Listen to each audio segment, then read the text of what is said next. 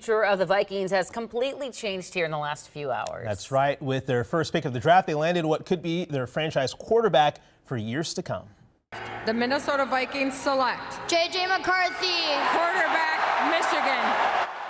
Yeah, there it was. J.J. McCarthy from Michigan could arrive in Minnesota as soon as today. The national championship quarterback from Michigan is the big time pick a lot of fans we're hoping and waiting for. We wanted a quarterback, and we got that quarterback. Audrey Russo tracking the story here, and Audrey, a lot of hype surrounding this pick.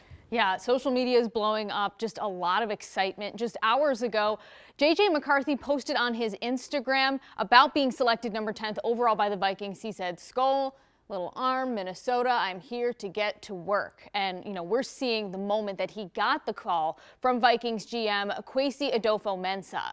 Michigan Wolverine J.J. McCarthy getting the official call to the purple and gold, and you can see he's uh, he's happy about it. We get a little high five action. Take a listen to the first chat between him and his new boss, McCarthy making a promise to the whole team.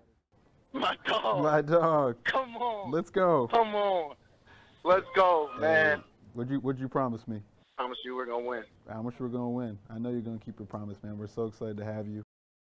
Fans no doubt are excited to see him put that promise into practice. Now this morning we're also getting reaction from legendary Vikings QB Tommy Kramer. He posted that he's excited for the Vikings and he uh, he also said that he's really excited to pass on jersey number nine to McCarthy. We'll see if that actually happens, but again, a lot of excitement here over the draft.